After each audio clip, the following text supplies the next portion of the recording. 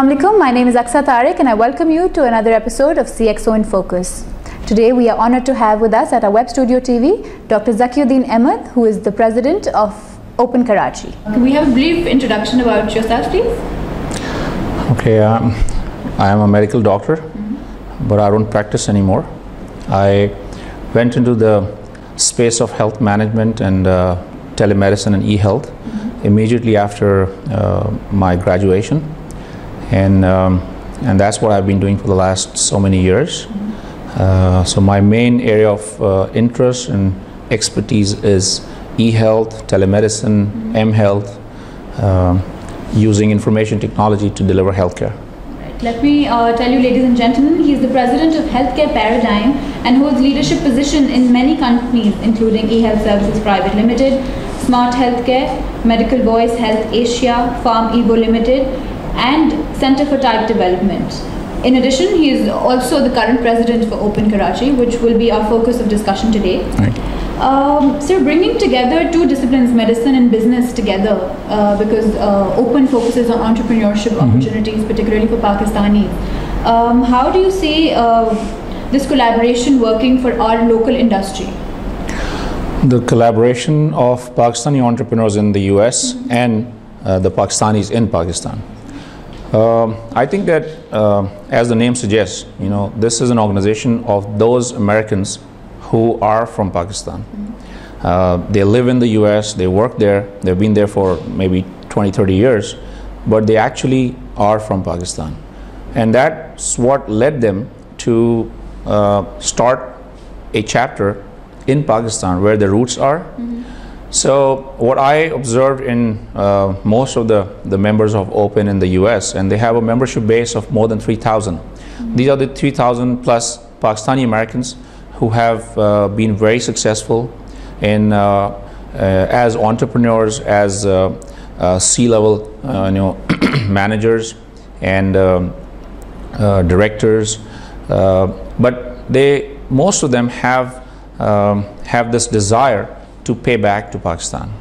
And they have been doing, you know, a lot of uh, uh, activities uh, in terms of not only in terms of uh, you know funding or charity, but business as well. Mm-hmm. So and they want to do more.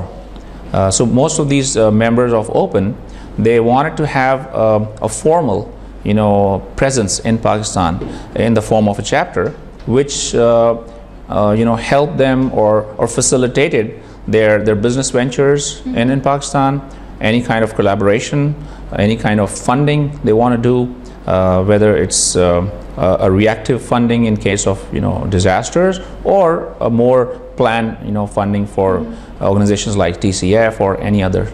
So so they, they really wanted to have their own presence, mm-hmm. uh, and uh, and that's why you know the first chapter outside the U.S. was formed in Karachi.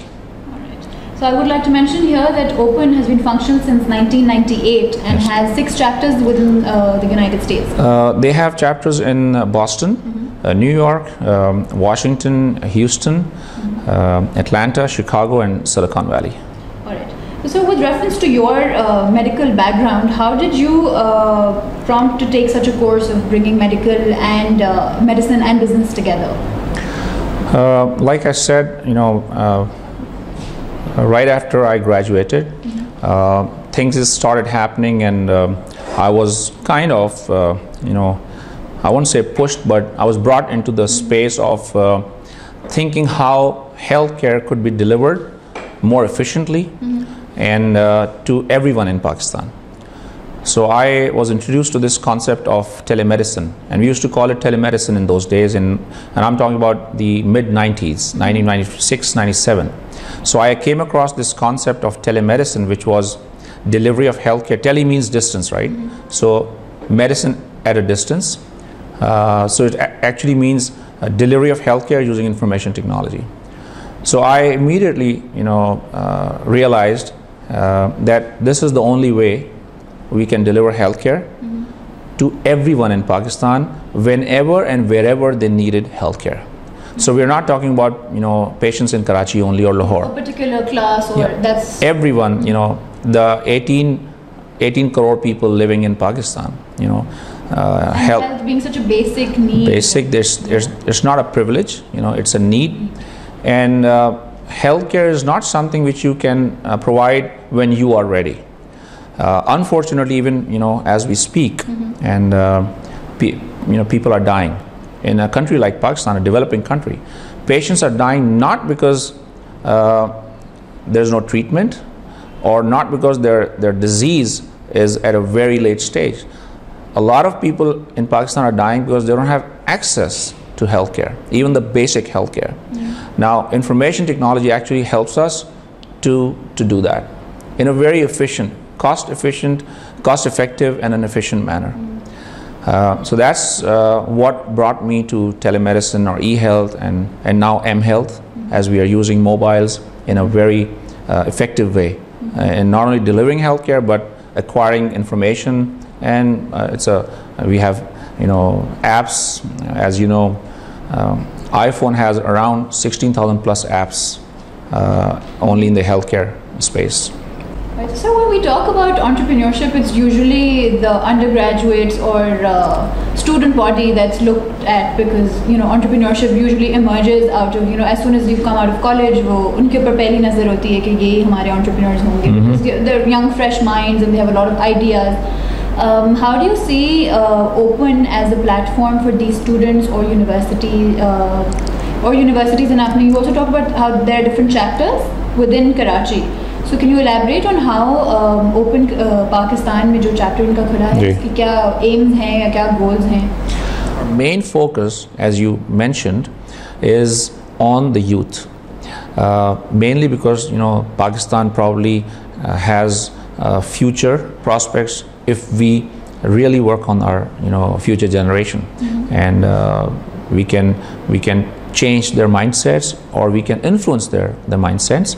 And so Open is also actually focused on most of its uh, resources and energy and time and effort will be on the youth. So we're not only opening up student chapters in all the major universities, but we have linked the mentorship program, uh, both physical and um, essentially the uh, online one, uh, with the student chapters. So inshallah, by the end of this year, 2012, we'll have at least seven uh, student chapters, and each chapter has 30 to 50 members, and uh, we would have mentored uh, those who you know who wish to be mentored through these uh, leaders or entrepreneurs who have been very successful as charter members. But we are not limiting ourselves to uh, students who are studying in these universities. I think Open has a very significant potential role to play in this because Open provides a very strong networking opportunity. You know, the, the main events which we have organized yet, the, the mm-hmm. two main events, so we have been able to get a good network and we've just started. And are we just talking about expats or are we also talking about No, no, no. The Open Karachi will focus on Pakistan. Mm-hmm. So what we'll do is we'll actually we'll bring a few people from the US, mm-hmm. but our main focus is to to gather the Pakistani entrepreneurs on the platform of Open. And as our, you know, we want to become the premier uh, entrepreneur uh, entrepreneurship uh, uh, organization or or a group. We want to be the leaders in that. Uh, since there are other groups which are working and which are working very well, and so we are supporting them.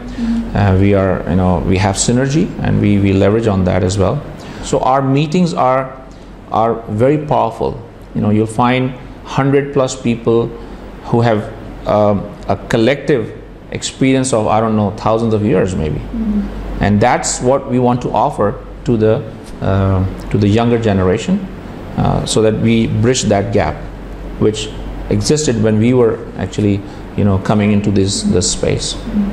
Alright, so sir, uh, before we close the show, I'd just like you to give a message to our audience and also maybe share uh, Open Karachi's uh, calendar for this year or your plans or goals.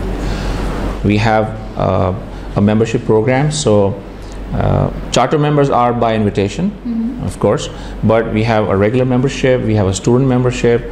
The details are available on the website. The website is under development, but you know the basic information is still there.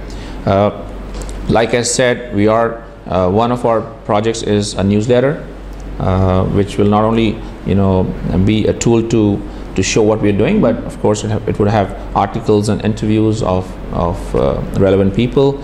Um, student chapters are our major focus, and like I said, we'll have at least seven and more chapters uh, by the end of this year. Uh, we are planning to have uh, a flagship event on entrepreneurship in December. Uh, and where we will have many entrepreneurs or open members uh, from the US, uh, you know, visiting and, and attending and speaking in this event in December. So that's the major event. the mentorship program, like I said, is gives you a slightly different you know flavor because it's not only one-on-one face-to-face but it's uh, virtual as well so uh, our members will be able to uh, go online and uh, interact with these uh, you know leaders in different areas. You know the, the message to the audience is that uh, if if the audience is young because you know the the senior audience knows much more you know than I I do I think the the younger audience uh, should have a purpose in life. I think that's uh, the the strongest uh, thing which we need. Each one of us should know why we are doing what we are doing, why we are here for. Uh, do we have a purpose in life or not? Are we living a purposeless life or a purposeful life? Uh, we can have different purposes, of course, as long as we have one. So I think that's the most important thing uh, to have a purpose in life. Number two, uh, believe in, of course, believe in yourself and, and Allah. Uh, and have whatever we do, we do it with conviction. And then uh, we we don't doubt ourselves or you know the environment or uh, support from Allah subhanahu wa ta'ala. So I think you know having a purpose, then believing in yourself, and of course you know we need to work hard. We need to be honest. Of course that that is there. With that, ladies and gentlemen, we will be closing the show today. We will see you next week with another guest in our studios. Till then, Allah Hafiz. Aksa Tariq signing.